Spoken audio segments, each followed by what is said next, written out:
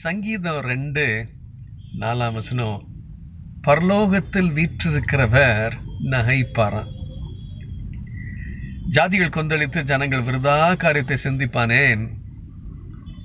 உலகத்தில் துன்மார்க்கர் பிசாசு அவனுடைய தூதர்கள் அவனுக்கு தங்களை ஒப்பு கொடுத்தவர்கள் பொல்லாப்பு பெருகி கொண்டே போகிற வேளையில பொல்லாப்பு நீதியை நியாயத்தை பார்த்து எள்ளி நகைக்கக்கூடும் ஆனால் பரலோகத்தில் இருக்கிற ஆண்டவர் உட்காந்து பார்த்து சிரிப்பாரான் ஹிந்தி படத்தில் வில்லன் சிரிக்கிற மாதிரி கோ கோ கோ கோ கோன்னு சிரிப்பாரான் அப்பேற்பட்ட தேவனுக்கு ஸ்தோத்திரம். ஒரு சில சமயம் நம்மை சுற்றி பொல்லாப்பு அதிகரிக்கும் பொழுது நாம் நம்பிக்கை இழந்து போகக்கூடும். ஆனால் நாம் நம்பிக்கை இழந்து போக அவசியம் இல்லை.